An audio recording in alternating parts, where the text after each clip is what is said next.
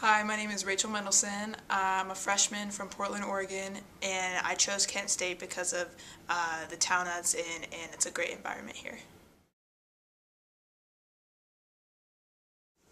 People can expect me uh, this year to be a floor leader as a point guard and to be vocal, and I have great court vision, and I'm a pretty crafty player. So. Uh, Coach O'Banion has a lot of energy and she's always positive and uh, she gives really good instruction and uh, she's a very focused coach and it's been really helping us.